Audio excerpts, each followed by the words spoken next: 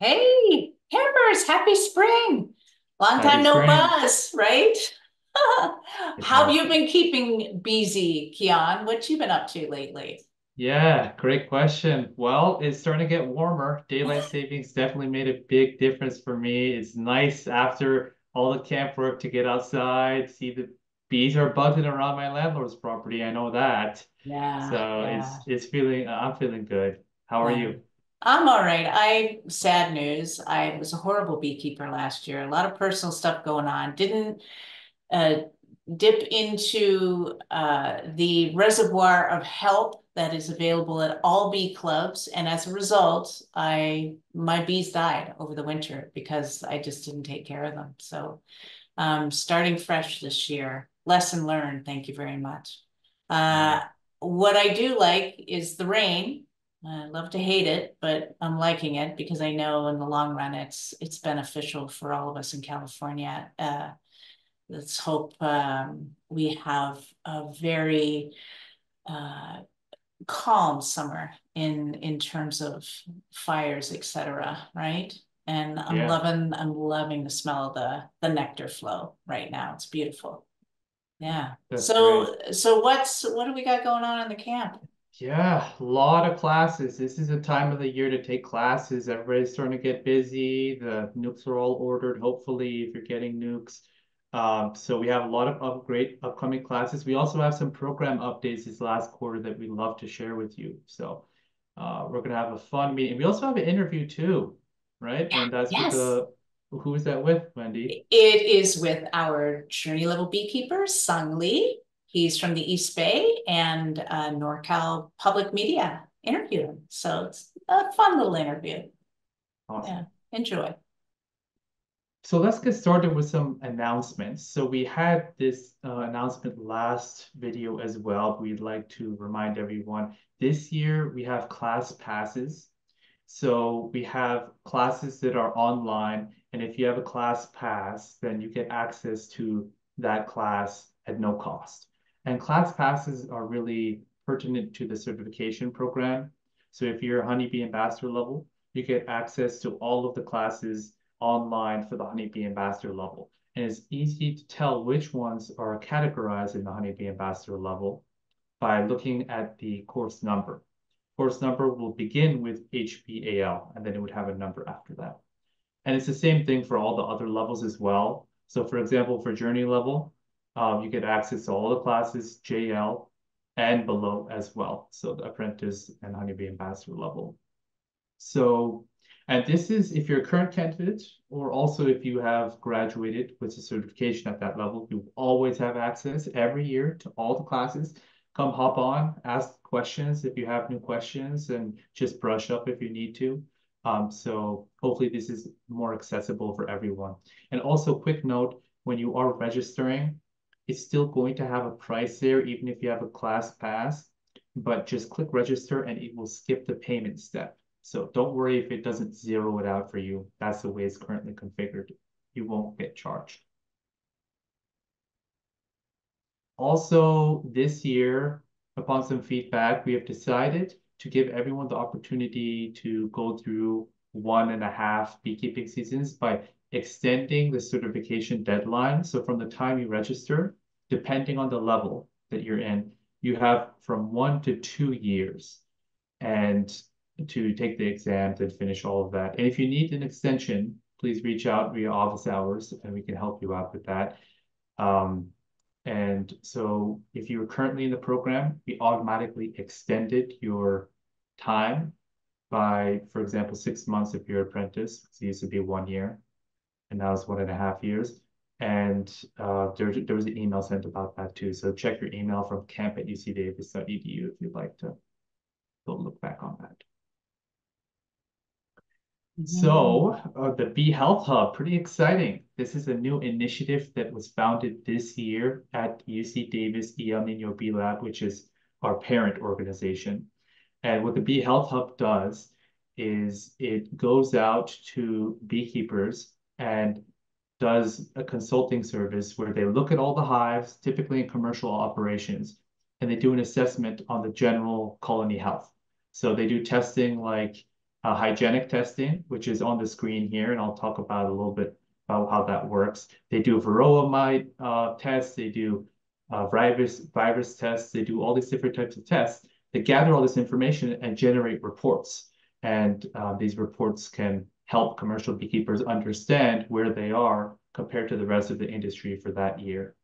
They also do lab testing that so you can mail in for hobbyist beekeepers, you can mail in a sample of bees and you can get viral testing, you can get nosema testing, you could do varroa mite testing if you'd like to, but you should be able to do that yourself. Um, uh, so there's a lot of options for everyone. And this year, so far, 14 commercial operations have been uh, have gone through the testing, have been consulted with 584 colonies and 237 mite washes. And specifically here, this is the liquid nitrogen test, these two photos. So it's pretty interesting. It's a way to test how hygienic a colony is. And it uses liquid nitrogen in to freeze brood. And then once they're frozen, the bees, if they're hygienic, they should go in, recognize the dead bees, and remove them. So what the consultants do is they they freeze brood and then they wait a certain amount of time and then they check on the right hand side after a certain amount of time how many of the brood were taken out by the other bees and disposed of properly. And on the right hand side, that's exactly what you want to see. All of the cells are empty. That's 100% essentially. So that means that the bees are highly hygienic. And you could use this. It's been proven to be a useful measure of how hygienic bees are. And it's useful to know how hygienic bees are because it help, that helps with pests and diseases. They'll clean themselves up. So a lot of exciting updates there. And Bee Health Hub is expanding, changes to the database, changes to the website. Um, we are excited to provide more services to hobbyist beekeepers and commercial beekeepers in the coming year. Yeah, and I think you're going to be down doing some of that yourself next week, aren't you, Keon? Yeah, thanks yeah. for mentioning. Yeah, yeah, that'll be my first time joining the yeah. field team out there in the field. So very cool. Well, I'll, I'll, I'll stay back and mind the shop. How's that sound? Yeah, I, I got. I, we're doing some uh, updating the study guide. I mean, the the the guide that went out a month ago is most current. So what you find in the member portal right now is the most current version of the study guide. We are currently developing exam questions to reflect that study guide. You will know when we do study guide updates when we release new versions of not only the study guides, but also of exam questions through the Buzz newsletter. We will always communicate that to you. So right now, status quo, no new updates. So we're working on it behind the scenes.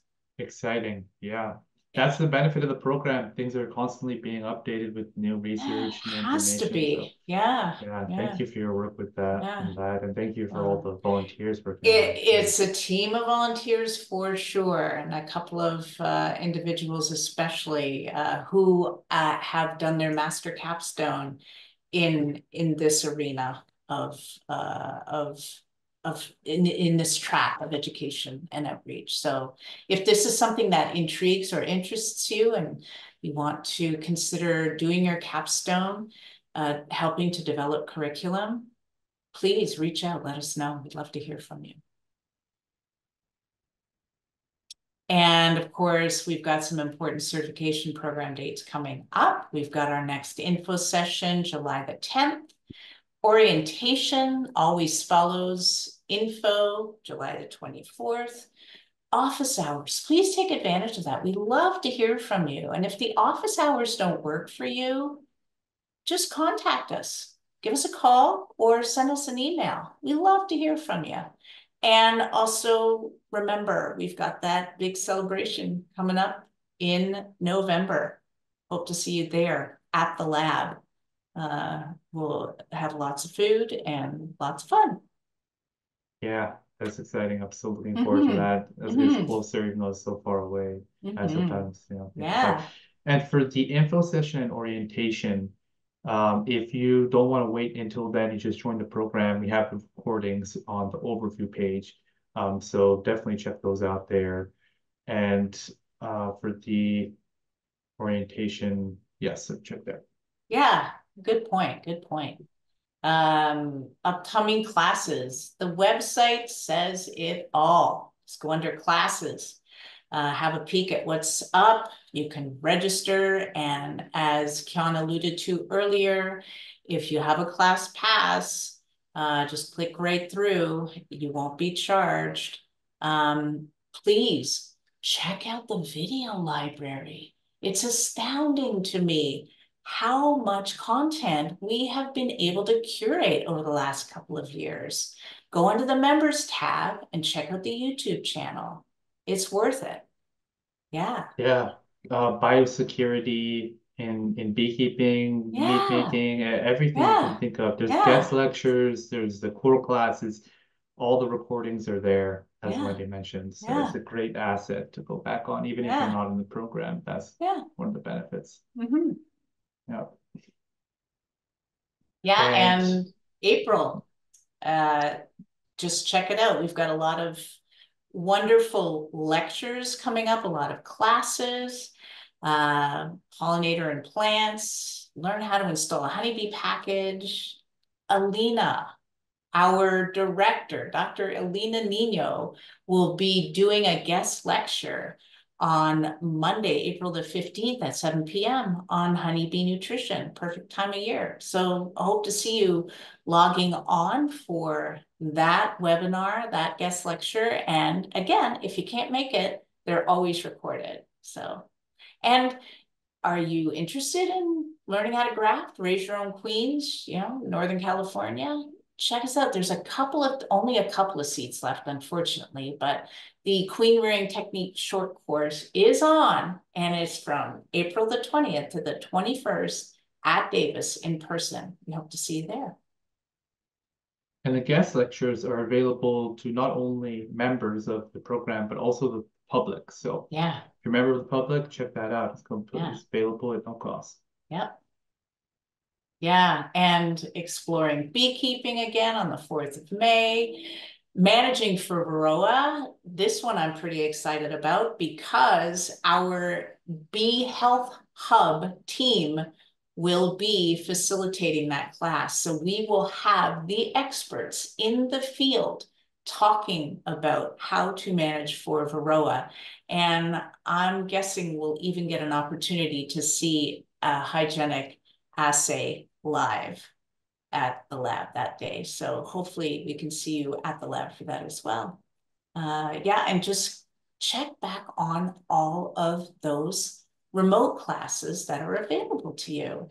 And if it doesn't work for you in terms of timing, just know that it's either already recorded and in the YouTube library now, or it will be soon.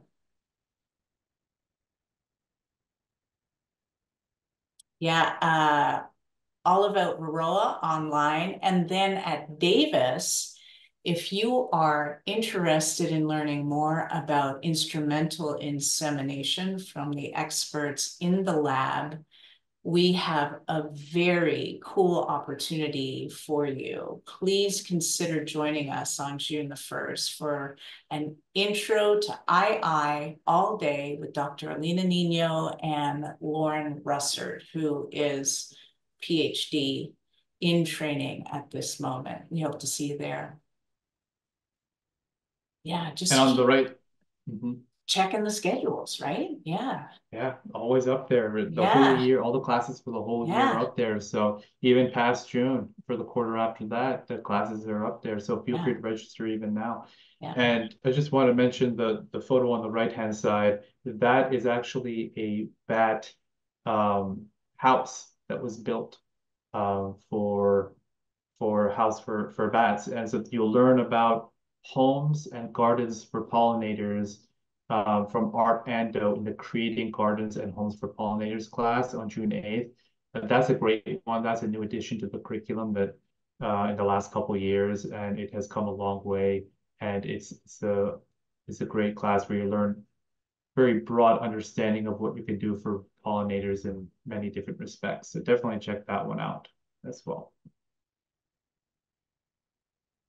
Yeah, so let's take a minute Actually, I think it's maybe a minute and a half to enjoy our member spotlight with Sung Lee. And he's being interviewed by uh, the um, NorCal Public Media. Beekeeping has been really exciting journey. Some bees are docile, some bees are aggressive and defensive.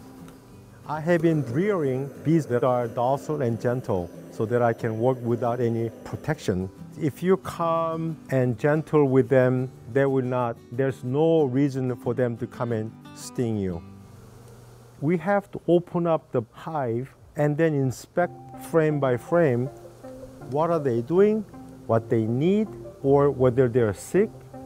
So it is my job as a keeper to check them out and then fill the blanks of what they need. I have to really keep up with them. These guys are definitely thinking about swarming. If it's needed, then I add boxes, put them to work. So, uh-uh, you're not leaving, get to work. I enrolled at UC Davis California Master Beekeepers Program that was the game changer.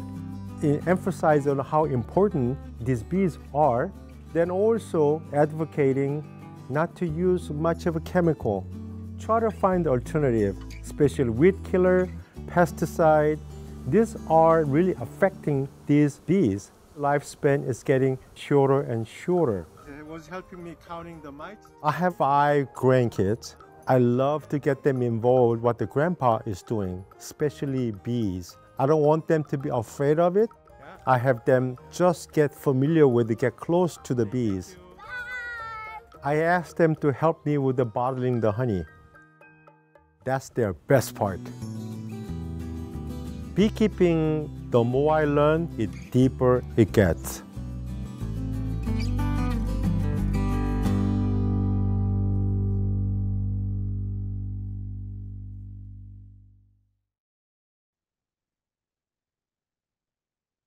Welcome back. So in the California Master Beekeeper Program, the program is successful because it is built by the members. Yeah. And so any feedback you have, we would greatly appreciate. There is a survey link in the description. Uh, anything about this video or about the program in general, general, or what you're looking to learn, really anything, uh, we do review that on a regular basis. So thank you for your feedback. And with that, for the season of spring. Be, Be well. well. Take care, everyone. Bye.